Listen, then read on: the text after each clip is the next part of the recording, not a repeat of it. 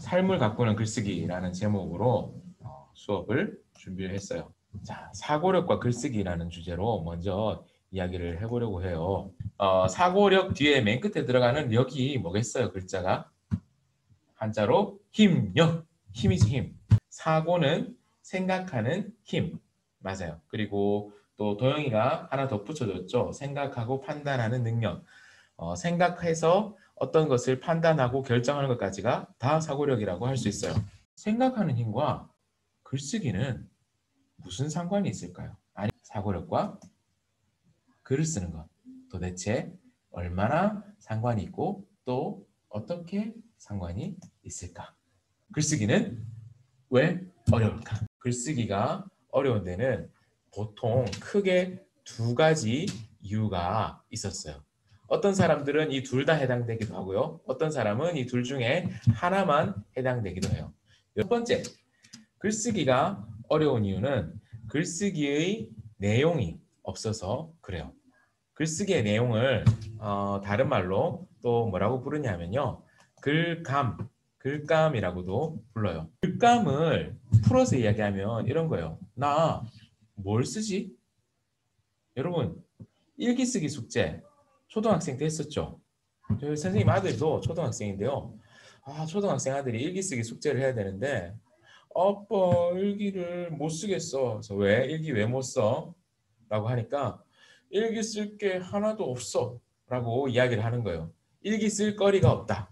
일기 쓸 내용이 없어서 자기는 일기를 못 쓰겠다라고 이야기를 한 거죠. 무엇을 쓸 것인가? 이걸 영어로 바꾸면 what to write예요. What to write. 글을 어, 바꿔 말하면 글을 쓰는 것이 어려운 게 어, 내용이 없어서라면 글을 잘 쓰기 위해서 갖춰야 될 것은 내가 어떤 글을 쓸 것인지 내용을 갖추는 것이죠. 그리고 두 번째, 두 번째는요. 글을 쓰는 기법이 없어서 그래요. 어떻게 쓸 것인가? 앞에 내용이 무엇을 쓸 것인가에 해당된다면 이번에는 무엇을 쓸 것인지는 있어. 있다 치자. 이, 이 내용을 내가 어떻게 할 것인가. 자, 여러분. 만약에 내가 만들기를 한다고 생각해 봅시다. 찰흙으로 만들기를 한다고 칩시다. 어, 무엇을 만들지, 어떻게 만들지, 글쓰기하고 똑같아요. 내가 찰흙을 가지고 뭘 만들어야 되는 시간이 있어. 찰흙도 있어. 근데 어, 무엇을 만들지 뭐 정했다고 칩시다. 어, 나는 그 포켓몬스터를 만들어 보겠어. 포켓몬스터에서 아, 나는 아, 너무 복잡한 건 싫고 그래 그 꼬부기를 만들어 보겠어. 이걸 만들기 위해서는 잘 만들기 위해서 예쁘게 만들기 위해서는 찰흙으로 내가 어떤 모양을 만드는 기술이 연습이 많이 돼야 돼요. 훈련이 되어 있어야 원하는 모양을 아름답게 예쁘게 멋있게 빚어낼 수 있는 거죠. 글쓰기에도 마찬가지예요. 내용과 기법 두 가지가 다 갖춰져 있어야 되는 거죠.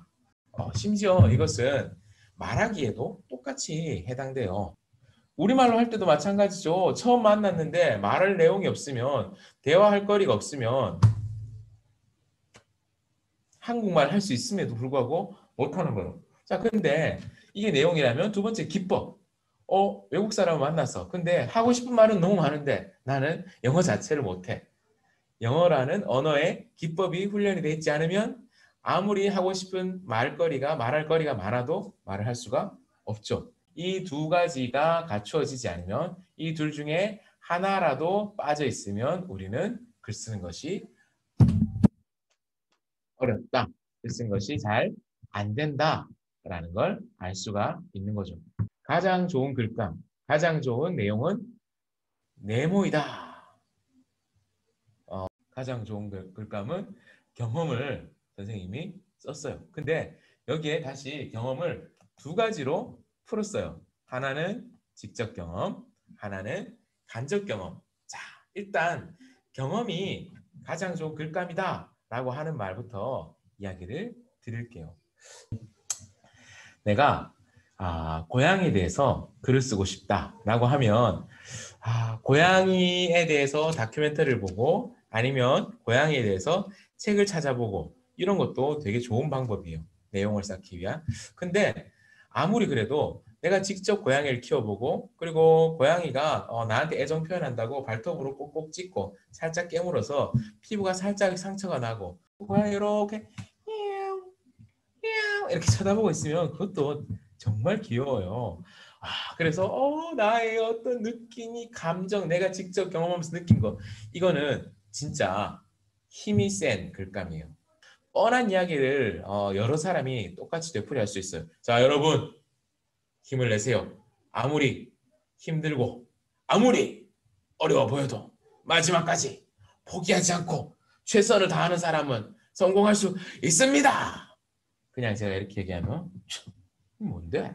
이럴 수 있잖아요. 근데 아 정말 목숨을 걸고 산에 올라갔다가 막스 히말라야 산맥을 막 14개의 봉우리를 막 올라갔던 어몽길 대장 같은 이런 사람이 진짜 목숨을 걸고 했을 때 죽을 것 같았던 상황에서 포기하지 않고 마지막 한 걸음을 더 올라갔더니 결국 정상에 도달했습니다. 이런 이야기를 자기가 직접 겪어본 사람이 하면 그 이야기는 훨씬 더 힘이 있어요. 세상에 모든 일을 다 겪어보고 글을 쓸 수 있으면 얼마나 좋겠습니까? 하지만 그럴 수 없는 일들도 많아요. 아, 나는 죽음에 대해서 한번 글을 써보고 싶어요. 라고 해서 그러면 선생님 경험이 제일 좋다고 했으니까요. 제가 죽음에 대한 글쓰기를 하기 전에 잠깐만 죽어보고 올게요. 경험하진 않았지만 다른 사람이 경험한 것을 전달받는 것. 다른 사람의 경험을 통해서 어, 그럴 수도 있겠구나 라고 생각하는 것. 그게 바로 직접 경험이 아닌 간접 경험이에요. 독서도 사실 그런 면에서 굉장히 좋은 간접 경험입니다. 이 경험은 영원히 남아있지 않아요. 여러분도 생각해 보시면 여러분이 경험한 것들 중에 까먹은 게 훨씬 많아요.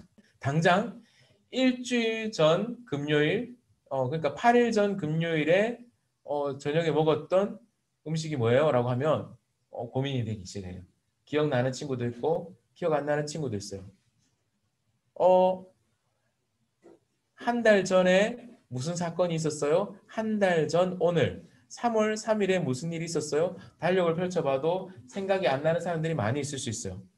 우리가 직접 겪은 일들 중에서도 생각나는 것보다 생각 안 나는 게 훨씬 많아. 근데 글쓰기에서 어, 글쓸 내용을 위해서 경험을 활용하려면 다 까먹어버리면 안 되잖아. 글 쓸 거 몇 가지 정도는 남겨놔야 되잖아. 그래서 음, 중요하게 생각하는 게 뭐냐면요. 우리가 기록을 해야 돼요. 흐릿한 기억보다 흐릿한 잉크가 오래갑니다. 그래서 경험을 글감으로 활용하는 글, 글쓰기의 내용으로 만들기 위해서 우리에게 꼭 필요한 것은 기록하는 습관이에요. 기록하는 습관은 여러 가지가 있을 수 있죠. 뭐 대표적인 것으로 일기 쓰는 것도 되고요. 아니면 책을 읽고 인상적이었던 것들을 어, 노트에다가 써놓을 수도 있죠. 비법 무엇을 쓸 수 있다고 글을 쓸 수 있는 것은 아니다라고 제가 또 초록창에 비워두었습니다. 자 여기에 들어갈 건 뭘까요? 이렇게 생각했던 거죠.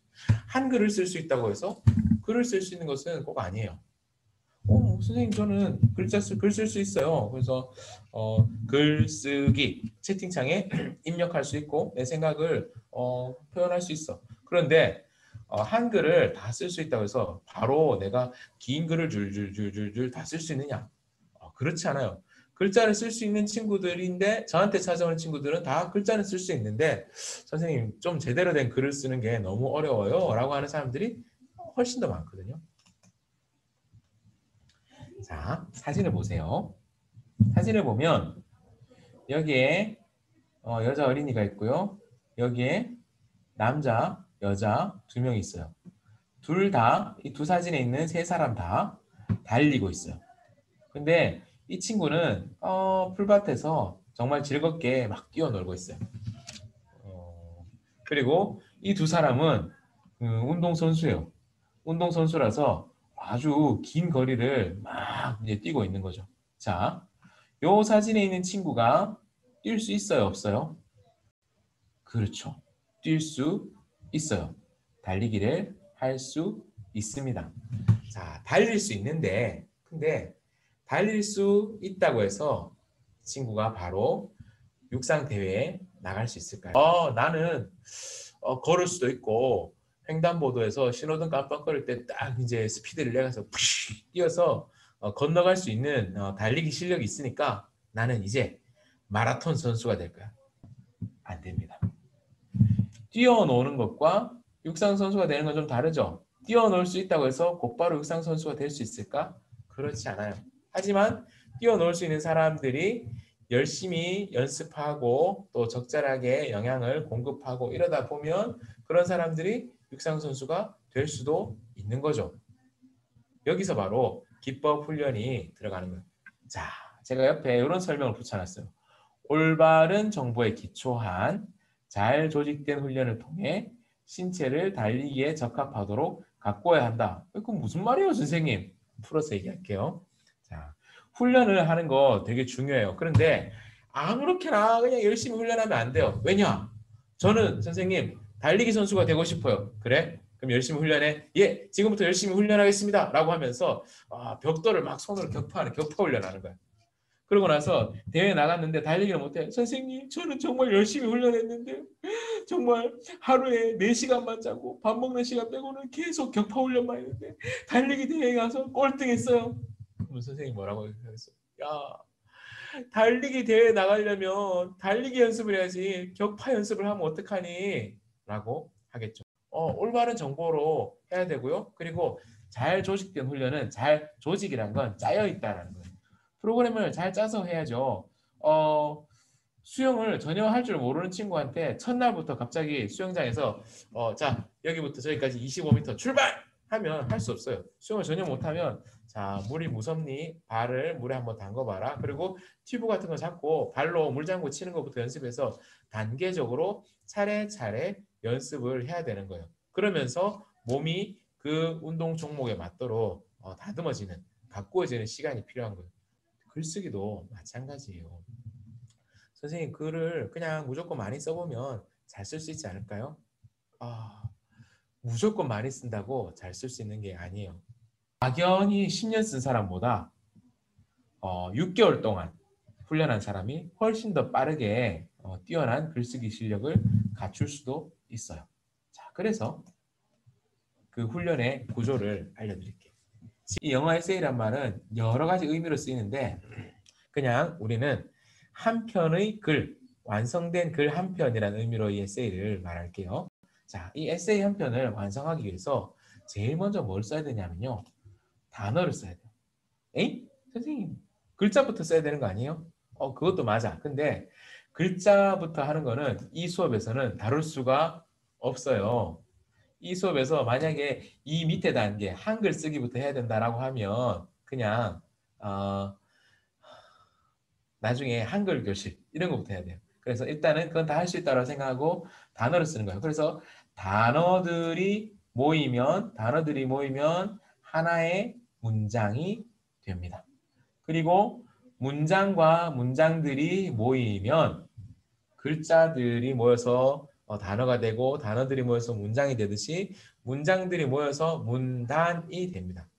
단은 단위, 단락 이런 뜻이에요. 그래서 글을 어, 딱 이렇게 한 덩어리가 되는 게 있어요. 여러분 책 읽어보면요. 그런 표시가 있어요.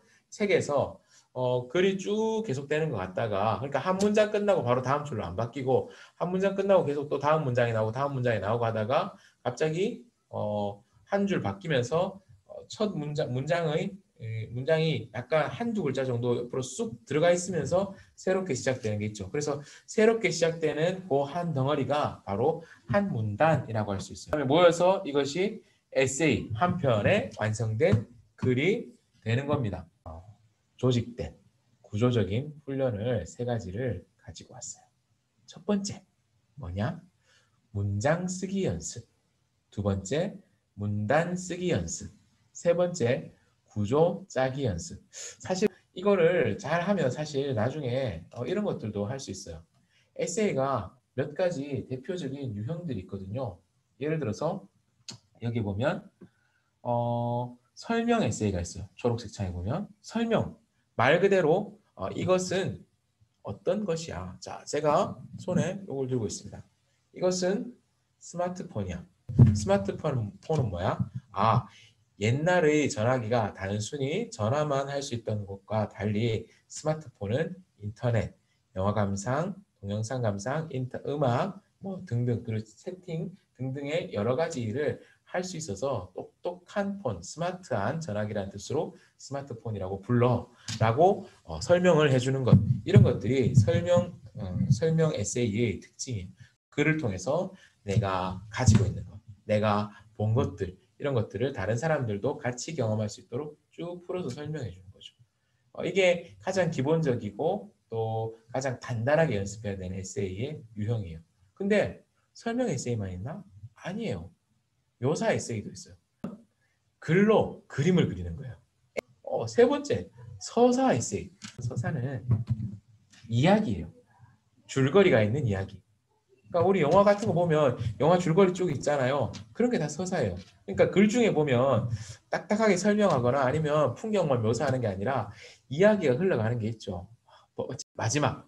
마지막이 설득 에세이입니다. 어, 내가 가지고 있는 생각으로 어, 여러분들을 설득한다. 내 생각에 다른 사람들이 동의하게 만들고 내가 어, 옳다라고 믿는 것 아니면 내가 해야 된다고 생각하는 것들을 다른 사람들이 같이 할 수 있도록 하게 해주는 것 이런 것들이 설득인 거죠. 또 어떤 사람들은 이 세 가지를 다 써서 설득을 하려고도 합니다. 그래서 에세이의 대표적인 유형은 설명, 묘사, 서사, 설득이지만 이 마지막 설득 에세이로 가기 위해서 나머지 세 개를 다 어, 숙달되게 연습해서 어, 한 글에 다 녹여낼 수도 있다. 그래서 문장을 쓰는 걸 연습하고요. 그 다음에 문단 쓰는 걸 연습하고요. 그리고 그 다음에 구조 짜는 것을 연습을 하는 겁니다.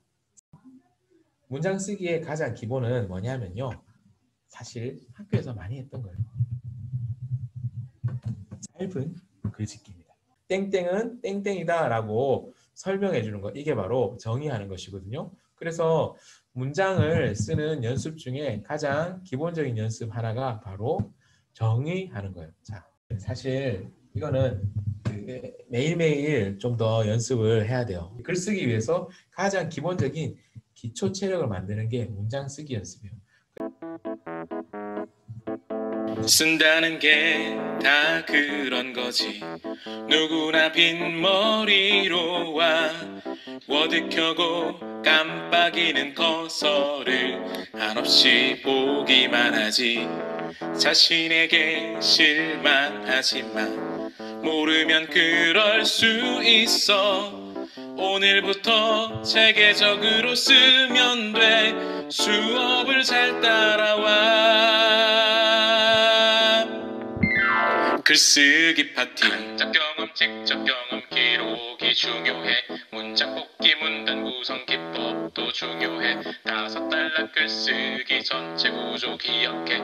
도입 전개 종결 구조 정확하게 이해해. 도입 단락 주제 소개해 핵심 명제를 밝히지.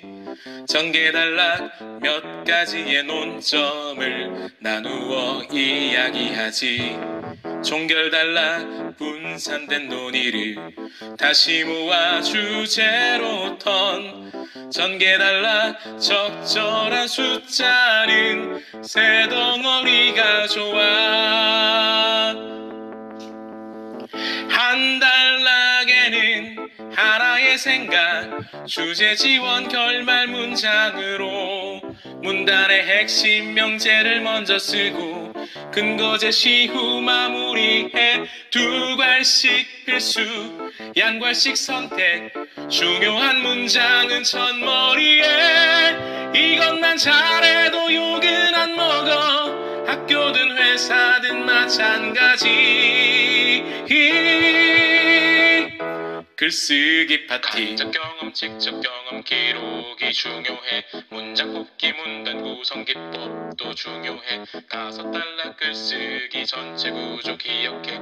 도입 전개 종결 구조 정확하게 이해해. 간접 경험 직접 경험 기록이 중요해. 문장 뽑기 문단 구성 기법도 중요해. 다섯 단락 글쓰기 전... 우리가 글쓰기 수업 시간에 앞으로 해야 될 것들, 여태까지 했던 것과 앞으로 해야 될 것들을 노래 가사로 해서 다 했어요. 자, 그러면 어, 저는 여기까지 하고요. 오늘 우리 인사하도록 하죠. 여러분, 우리 다음 시간에 만납시다. 안녕.